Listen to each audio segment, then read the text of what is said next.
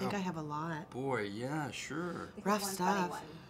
Or, or a funny- horrible one. Funny, funny. You mean funny now? Funny tra- tragic, now. yeah, funny tragic. Very tragic at the time. I mean, there's so many tragic things that happen in adolescence. Yeah. God Almighty. Spit it out, Sam. In that Uh, funny way. Huh? You got one? I, I mean, I got, you know, I got my ass kicked a couple times and, uh, you know, stuff like that. You know, learned some lessons, got my lunch It's stolen. not fun. That's not fun at all. No. I got a lot of like, you know, sixth grade, like all the boys and the girls are hanging out, and I was like, yeah, I'm hanging out with the boys, and they were like, can you give this to your friend Mary? Like, sure, sure I can.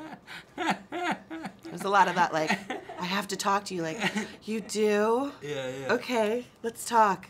Can you set me up with your friend Mary? Yeah, I can.